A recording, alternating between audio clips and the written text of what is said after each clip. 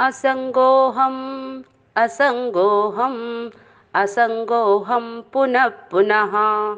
सच्चिदानन्दरूपोऽहम् अहमेवाहमव्ययः। नित्यशुद्धविमुक्तोऽहं निराकारोऽहमव्ययः।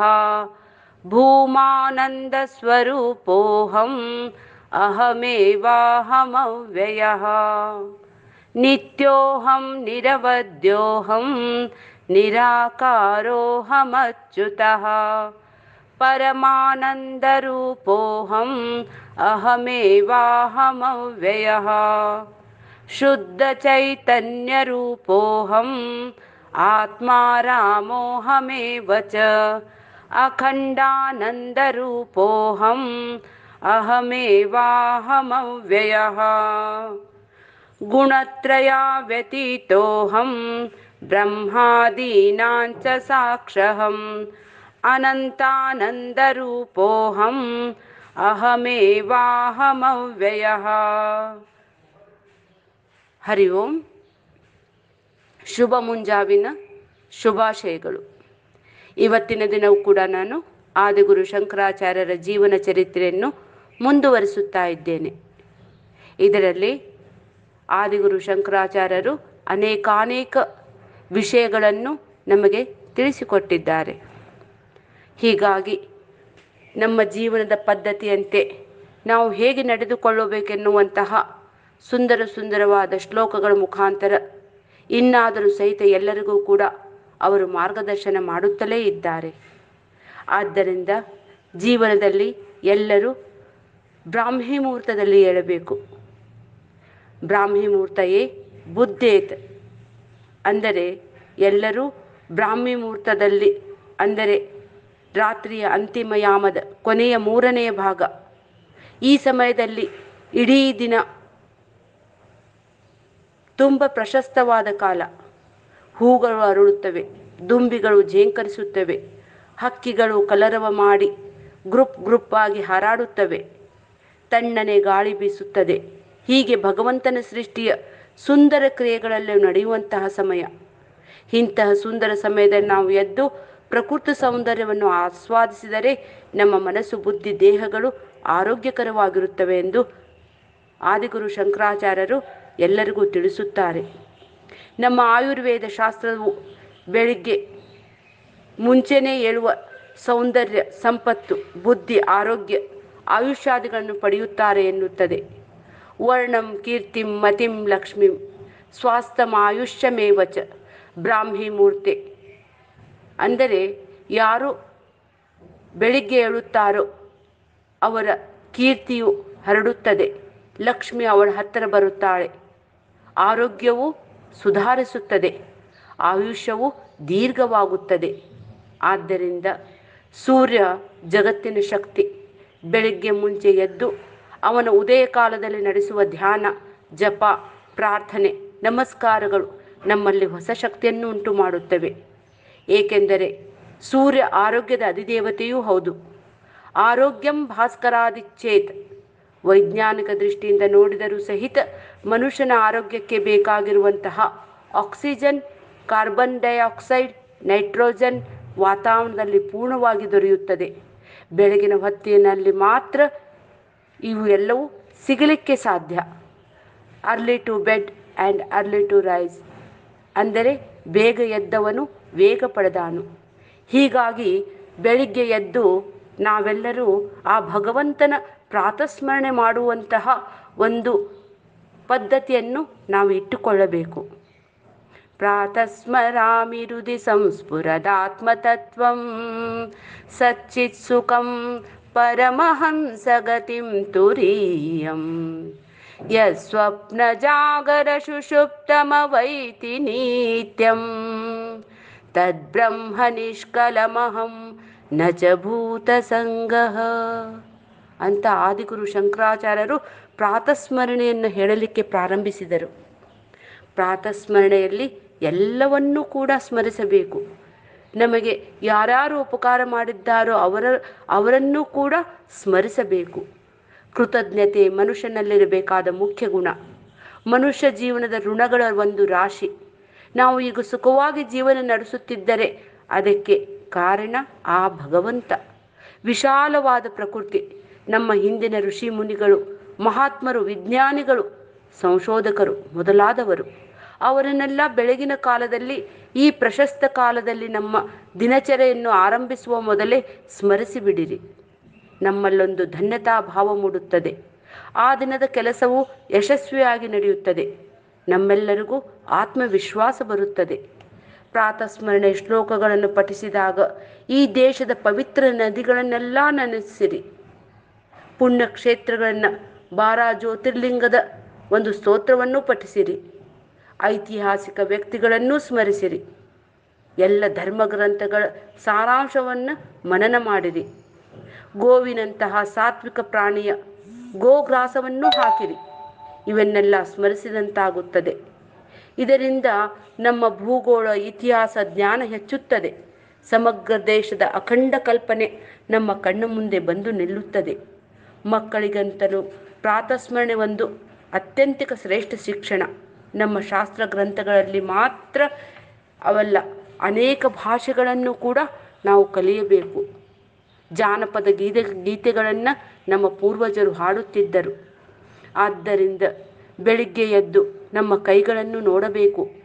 ಕರಾಗ್ರೆ ವಸತೆ ಲಕ್ಷ್ಮಿ, ಕರಮಧ್ಯೆ ಸರಸ್ವತಿ, ಕರಮೂಲೆ ತಥಾ ಗೌರಿ, ಪ್ರಭಾತೆ ಕರದರ್ಶನಂ. ಕೈ ತುದಿಯಲ್ಲಿ ಲಕ್ಷ್ಮಿ, ಮಧ್ಯದಲ್ಲಿ ಸರಸ್ವತಿ, ಬುಡದಲ್ಲಿ ಗೌರಿ ನೆಲೆಸಿದ್ದಾಳೆ. ಆದ್ದರಿಂದ ಬೆಳಿಗ್ಗೆ ಎದ್ದು ನಾವು ಕರದರ್ಶನ ಮಾಡಿ ಅಂತ ನಮ್ಮ ಹಿಂದೂ ಶಾಸ್ತ್ರಗಳಲ್ಲಿ ಹೇಳಲಾಗಿದೆ. ಈ ಕರದರ್ಶನದಿಂದ ಮನುಷ್ಯನಲ್ಲಿ ಆತ್ಮವಿಶ್ವಾಸ ಮೂಡುತ್ತದೆ. ಭಗವಂತನ ಈ ಕೈಗಳಿಂದಲೇ ನಾವು ಕರ್ಮ ಮಾಡುವುದು. ಭಗವಂತ ದುಡಿಯೋದಕ್ಕೆ ಕೈ ಕೊಟ್ಟಿದ್ದಾನೆ. ಚೆನ್ನಾಗಿ ದುಡಿಯಿರಿ, ಇನ್ನೊಬ್ಬರ ಕಡೆಗೆ ನೋಡಬೇಡಿರಿ. ಸ್ವ ಸ್ವಾವಲಂಬನೆಯ ಪಾಠವು ಇದರಲ್ಲಿ ನಮಗೆ ತೋರಿಸಿಕೊಡುತ್ತದೆ. ಜೀವನದಲ್ಲಿ ನಾವು ಎಲ್ಲವನ್ನೂ ಮಾಡುವುದು ಕೈಯಿಂದ ಅಲ್ಲವೇ? ಆದ್ದರಿಂದ ಕೈ ಧರ್ಮದ ಲಕ್ಷಣ. ಅರ್ಥ, ಕಾಮ, ಮೋಕ್ಷಗಳಿಗೆ ಕೈ ಕಿಲಿಕೈ ನಮ್ಮ ಉದ್ಧಾರ ಇನ್ನೊಬ್ಬರ ಕೈಯಲ್ಲಿಲ್ಲ. ಅದು ಇರುವುದು ನಮ್ಮ ಕೈಯಲ್ಲಿ ಎನ್ನುವುದು ನೆನಪಿಸುತ್ತದೆ ಈ ಕರದರ್ಶನ.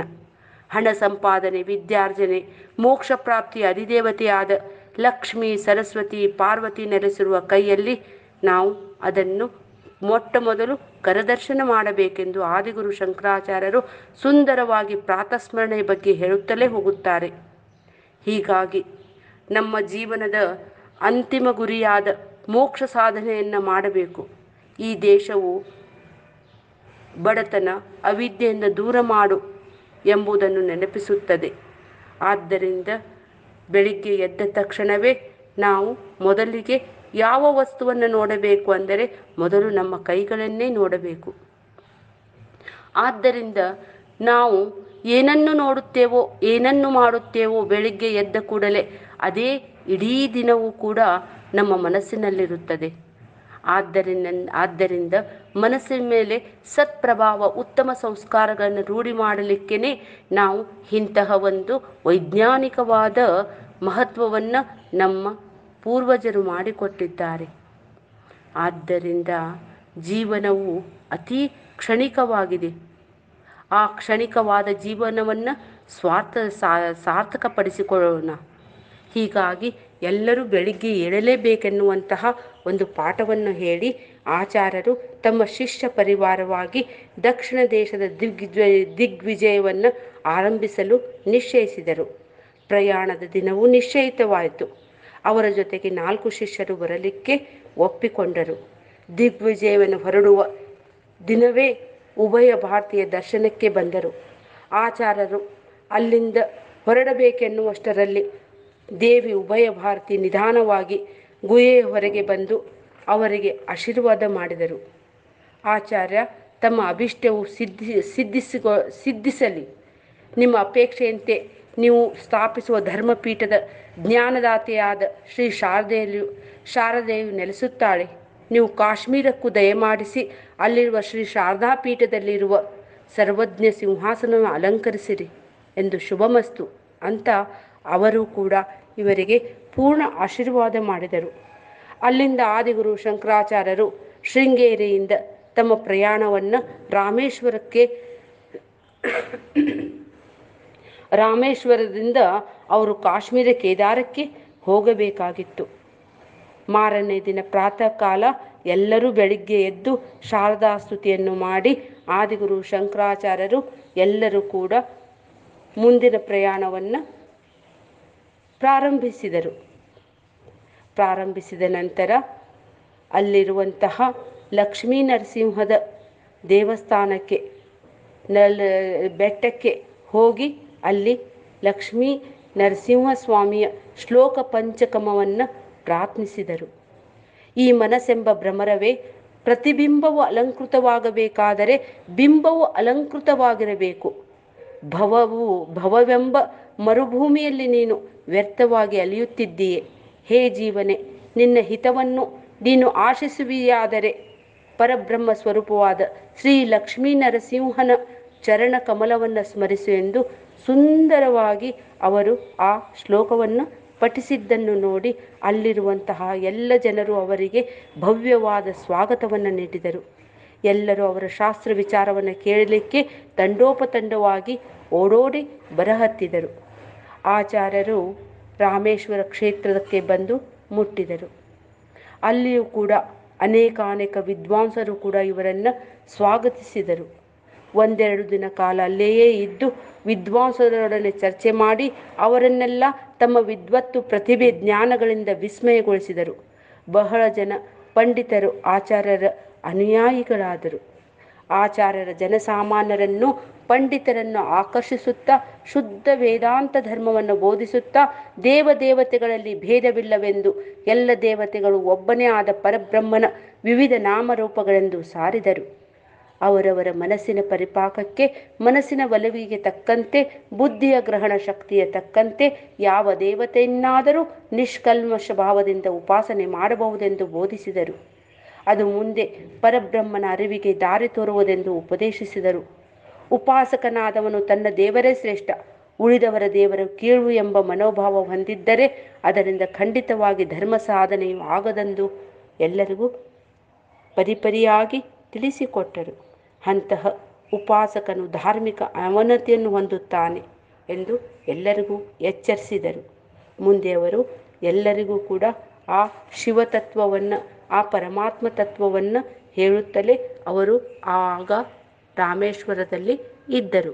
ರಾಮೇಶ್ವರದಲ್ಲಿರುವಂತಹ ಆ ಒಂದು ಜ್ಯೋತಿರ್ಲಿಂಗದ ಪೂಜೆಯನ್ನು ಮಾಡಿ ಮತ್ತೆ ಅವರು ಮುಂದಿನ ಪ್ರಯಾಣಕ್ಕೆ ತಯಾರನ್ನು ನಡೆಸುತ್ತಾರೆ.